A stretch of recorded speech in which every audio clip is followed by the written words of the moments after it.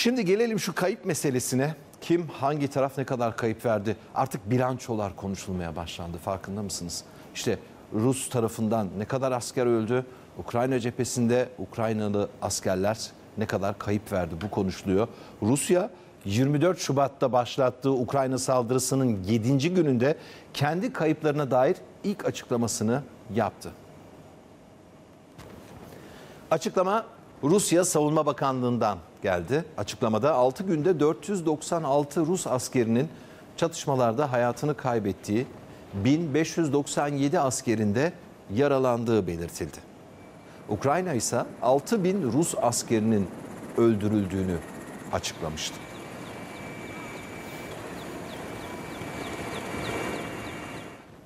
Bu arada ben o rakamları da güncelleyeyim çünkü her saat yeni haberler akmaya devam ediyor. Zelenski kendi ağzından bizzat 9 bin Rus askeri öldürüldü açıklamasını yaptı. Rus cephesi de 498 olarak güncelledi.